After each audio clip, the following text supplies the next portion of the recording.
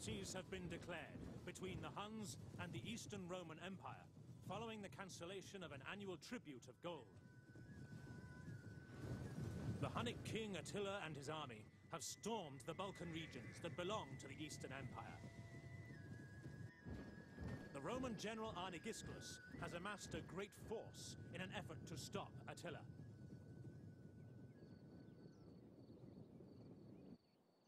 The two armies meet in combat on the banks of the Utus River.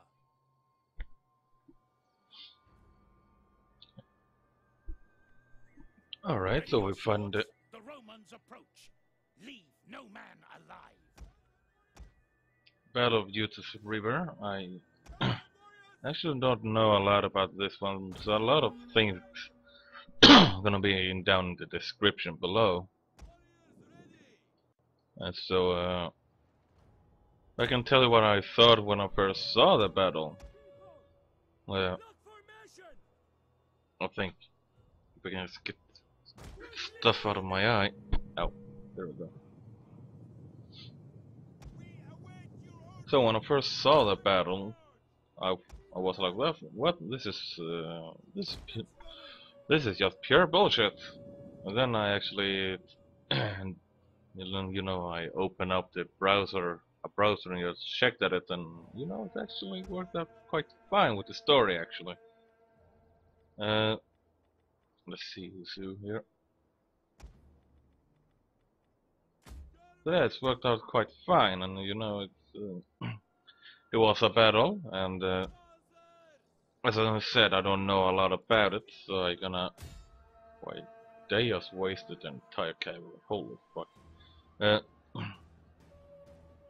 But yeah, everything will be in the description below about the battle. And uh, the reason of I thought that this was just pure baloney was that. Uh, kind of the same thing happened when uh, Attila invaded the Western Empire. You know, it's uh, a new Eastern Emperor said, "Ah, we're not gonna pay your pay shit to you. We're not gonna pay any gold tribute to you anymore."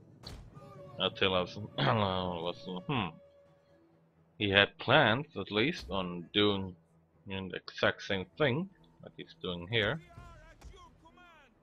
and uh, that turned out to actually be worthless now. Well, did you read? Actually, you can somewhere find that. Yeah, he tried at least to do the same thing here, but it uh, a better price was offered to him at over in the Western Roman Empire, and. Uh, yeah, and he decided that no, this ain't worth it, and he went over to uh, the west and start causing a havoc there. And of course, we've got the great battle of Chalon.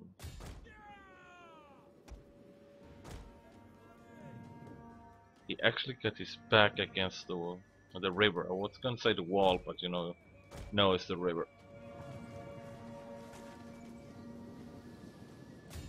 Let's go upon early victory, shall we?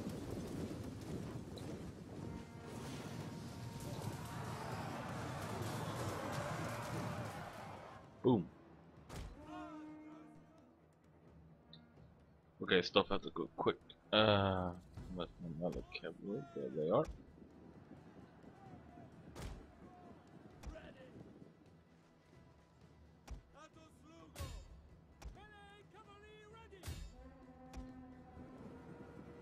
What's this?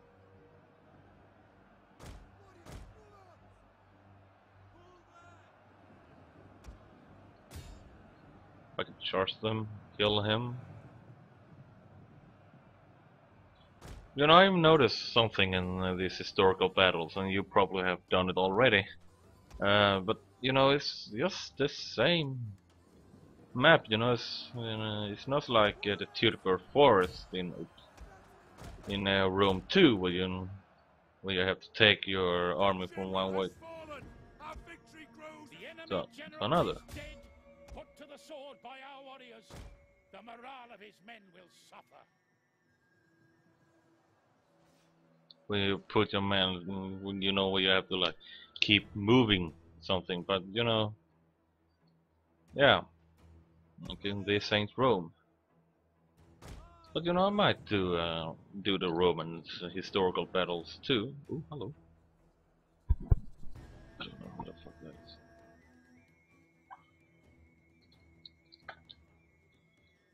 Got some kind of shit.